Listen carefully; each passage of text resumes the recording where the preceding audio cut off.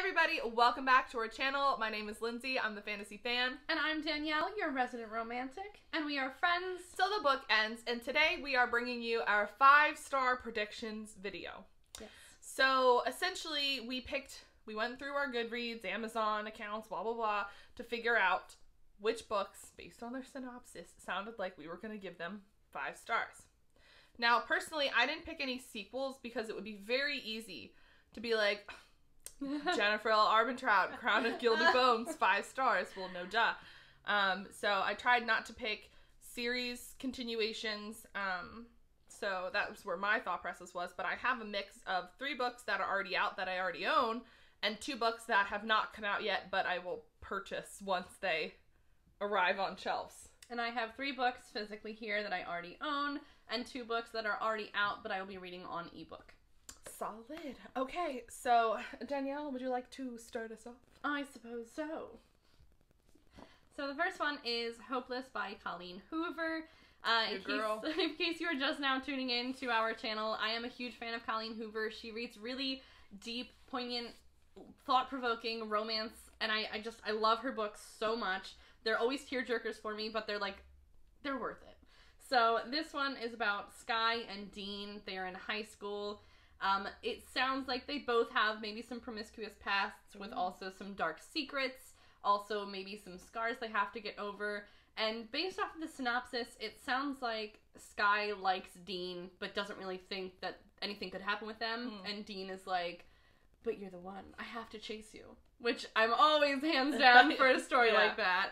Um, so the fact that there is a lot of getting over scars, it Mhm. sounds like the guy is going to be chasing her a lot and showing her that they are meant to be together, and the fact that it's Colleen Hoover, I think that nothing could go wrong on this. I have loved every other book that I've read by her. Um, I think both of them actually were five out of five stars that I've read Oh, by her. awesome. So I'd like to keep the streak going.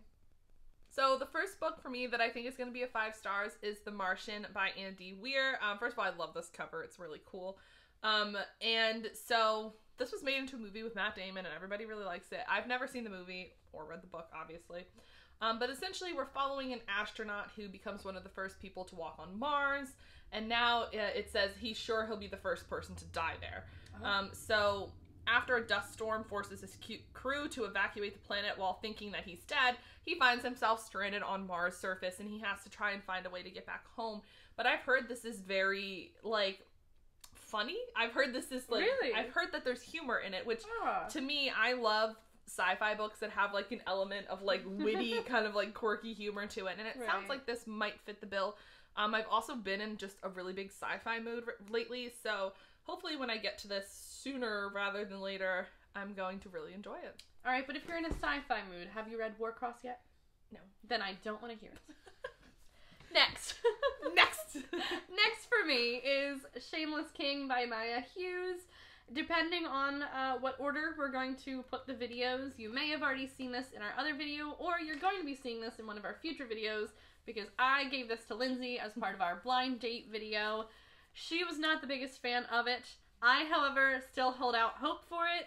Um, couple of keynotes you have Declan and McKenna. They were apparently rivals in high school, had this big blowout, and now that they're in college, suddenly she gets transferred to his college. She has to take the same class he's in, put in the same seat right next to him, and she's basically giving him the cold shoulder all the time, and he's like, But I love her. Let me see if I can thaw her out.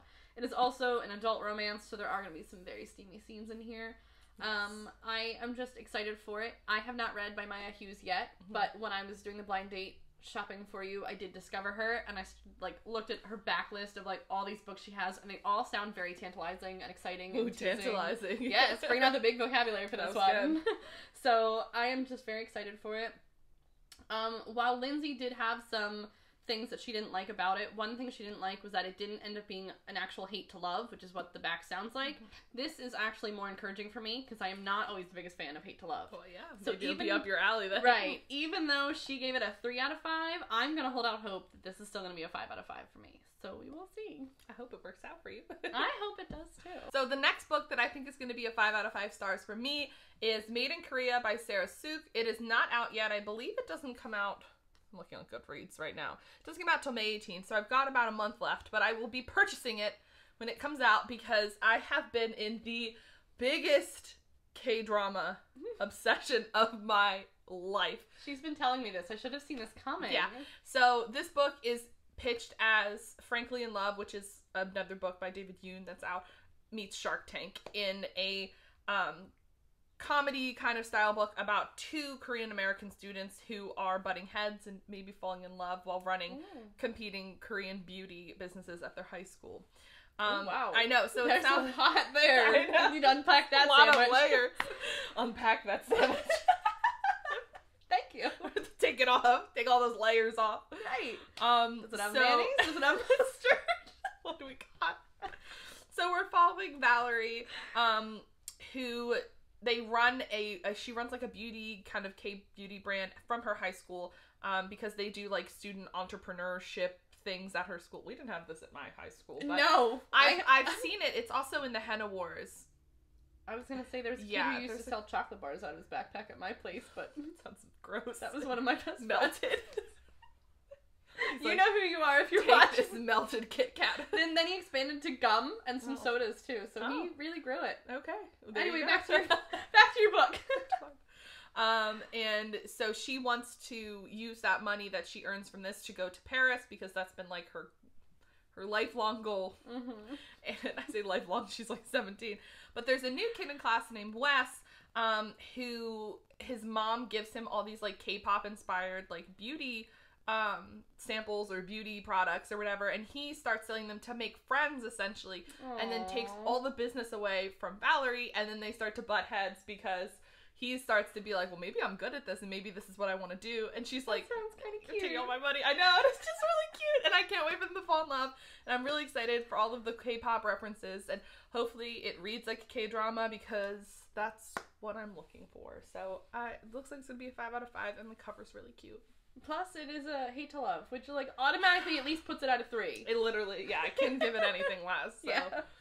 Uh, the next one that I will be reading on ebook is The Ex Talk by Rachel Mm. Lynn Solomon. That one sounds so good. Yes, I have been. I've been on the wait list for a while. Uh, everyone is excited to get their grubby little hands on it. I am one of those people. Um, we have read the another book by Rachel Lynn Solomon, which was Today, Tonight, Tomorrow. That focused on a high school population. I believe this is more of an adult hmm kind of romance, but adult book in general. Basically, you have a male and a female. Sorry, I don't know their names. Uh, a male and a female. Um, they work at a radio station, and kind of this new gimmick that the radio station wants to do is this what an X kind of segment where it's like you talk about your exes and stuff like that. yeah. And so, in order to really sell it, the radio show was like, "Hey, you man, you female, pretend to be exes." and so it's it's kind of like not quite a Mm. hate to love, but also a little bit because they have to pretend that they're exes. yeah. right. So it just it sounds very cute, and it is really it. I I think it's an interesting concept. Rachel Lynn Solomon with Mhm. Today, Tonight, Tomorrow. I gave it I think a four point five out of five. That's what I gave it to. And the only thing that was missing was that it was a little cliche at the ending. And I feel like with adult books, you maybe have more of a broader spectrum of how to end it or Mhm. what to do for the climax. So I think that this will really be able to bring it home for a 5 out of 5 for me. Yeah, I'm really excited to hear what you think about it since we both really liked the other book by her. So Yes. I really have high hopes that if you like it, I was like, I'm gonna really read that too. Right. So It's my my sounds good. my high hopes are like above the camera right now. You can't see it, but it's there. Next book for me that I think is gonna be a five out of five stars is Warbreaker by Brandon Sanderson. Of course, I had to go order the UK edition because is she cute, but also She's because very cute. Warbreaker in the United States is only available in mass market paperback, which makes no sense because it's very popular and usually mass market books are reserved for not popular or romance, which this is neither. So I don't know. US Right. publishing, what the fuck? So I just really like keep talking. I just really like the so cover. essentially, um, this is a Brandon Sanderson book, and I've read from him before, and I know I like him. And this is right now it's a standalone, Mhm. which is appealing to me. Um, but it's a story of two sisters that are princesses, and um, the God King is someone that they ha- one of them has to marry, and so one of them has been chosen to marry him, and then something happens, but then the other sister has to go in her place Oh. and I, she's not i don't think she's prepared so i think she has to kind of like scramble but it, i know that it's not brandon sanderson doesn't write romance heavy hmm there are oftentimes like a romance aspect in his book, but it's not. He's a fantasy writer, so um, the world sounds really interesting because theirs is a world in which those who die in glory return as gods. A world transformed by biochromatic magic, a power based on an essence known as breath, which can be collected one unit at a time from individual people. But it's worth it. By using breath and drawing upon the color in everyday objects, a manner of miracles and mischief can be performed. Wow. So the magic system sounds like something I've never heard of before. Um, but it just sounds really good. The cover's really cool. I like that there's going to be a sister dynamic in it because I really have found that I enjoy reading sister dynamics as of late. So this one looks like a 5 out of 5 in my eyes. that one looks like a 600 page book in my eyes. It's junky. A little bit, but that's okay. Oh, you know what? It actually says on the cover, "Magic as you have never seen it before," I agree with that. so that makes sense. The next one for me that I think will be a five out of five is "Cruel Prince" by Holly Black. I know I'm very late on this train here. yeah, that's okay. Um, Lindsay made me buy it uh, like last year or something.